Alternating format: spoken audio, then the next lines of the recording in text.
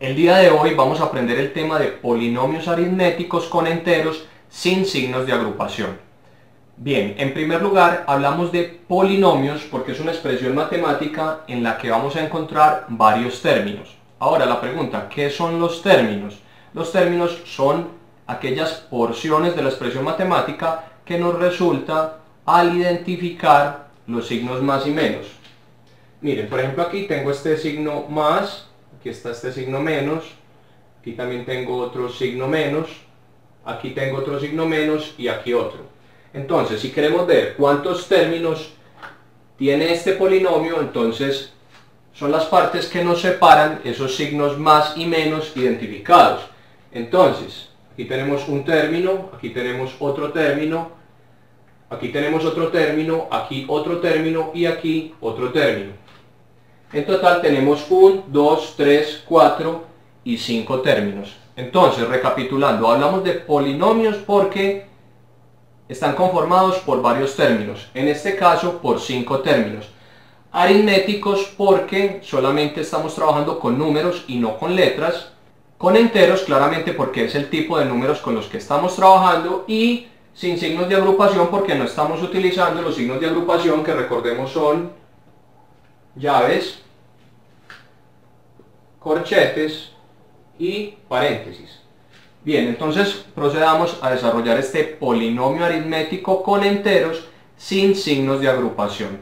No sin antes recordarles que la clave en este tipo de ejercicio es que la multiplicación y la división prevalecen ante la suma y la resta. ¿Qué quiere decir esto? Básicamente que primero debemos desarrollar las multiplicaciones y las divisiones indicadas de izquierda a derecha que las operaciones de suma y resta. Bien, entonces vamos a ello. Entonces, esto será igual a... Entonces, como habíamos dicho, lo primero que nos encontramos es menos 18 dividido 3, ¿sí? Entonces, 18 dividido 3, sabemos que es 6, ¿sí? Y conservamos este signo menos que teníamos acá.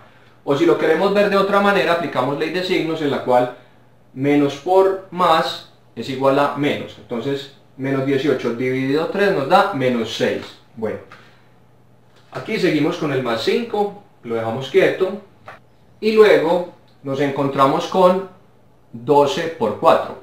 Si somos coherentes con lo que habíamos explicado, entonces como primero desarrollamos multiplicaciones y divisiones, entonces 12 por 4 nos va a dar 48. Y conservamos este signo menos, entonces 48. Muy bien.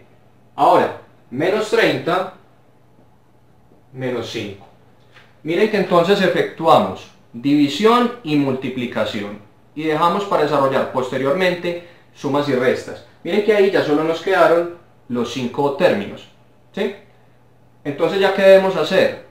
Lo que se aconseja es plantear una columna para los números positivos y otra para los números negativos. Sumar cada uno de estos números, los positivos y los negativos, y luego efectuamos la diferencia entre ellos y nos vamos a quedar con el signo de lo que nos dio mayor. Si nos dio mayor el número positivo, el resultado tendrá signo positivo. Y si nos da mayor la suma de los negativos, el resultado final tendrá signo negativo. Pero bueno, di mucha información, vamos a ver cómo se ejecuta. Entonces, una columna para los positivos.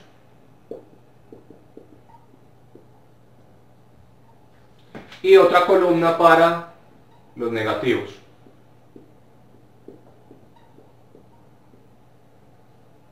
Bien, entonces a mí me gusta siempre señalar para no perderme, ¿cierto? Entonces, negativos tenemos el menos 6, tenemos el menos 48, el menos 30 y el menos 5. Entonces esos son los que vamos a ubicar en esta columna, ¿cierto? Y en este caso solamente nos quedó un número positivo. Bien, entonces ese número positivo vamos a ubicarlo acá, que sería de una vez el resultado. Aclaremos, si nos hubieran quedado más números positivos, entonces lo que hacíamos era filarlos aquí y efectuar la suma. Bien, bueno, entonces vamos a sumar los negativos. Entonces tenemos como negativo el 6, como habíamos dicho, 48, el 30 y el 5. Todos estos son números que ya sabemos son negativos, vamos a sumarlos y por tal razón de una vez destaquemos que el resultado nos tiene que dar negativo porque realmente es menos 6, menos 48, menos 30 y menos 5, ¿cierto? Bien, entonces efectuemos la suma. 6 y 8 nos da 14 y 5 serían 19, ¿cierto? Y llevamos 1. Bien. 4 más 3, 7 y 1, 8. Entonces aquí obtenemos 89 como resultado. Entonces, los negativos sumados nos dan menos 89 y en este caso teníamos un solo positivo que es el más 5. Como lo habíamos dicho anteriormente, entonces miramos cuál de los números es mayor. En este caso tenemos mayor el menos 89, ¿cierto? Entonces el resultado nos va a quedar con signo negativo. Hacemos la diferencia entonces entre el 5 y el 89 y como el número de mayor tamaño nos dio negativo, el resultado definitivo será negativo. Bien, entonces vamos a hacer la diferencia por aquí en el lado derecho del tablero. Pero bueno, no hace falta pues porque es bastante sencilla. 89 menos 5 nos va a dar 84, ¿sí? Simplemente indiquémoslo aquí para que quede claro qué fue lo que se hizo. 89 menos 5 que nos da 84 como resultado final. Pero sabemos que ese resultado va a ser con signo negativo por lo que explicamos anteriormente. Entonces, destaquemos aquí con tinta roja el resultado definitivo que es menos 84.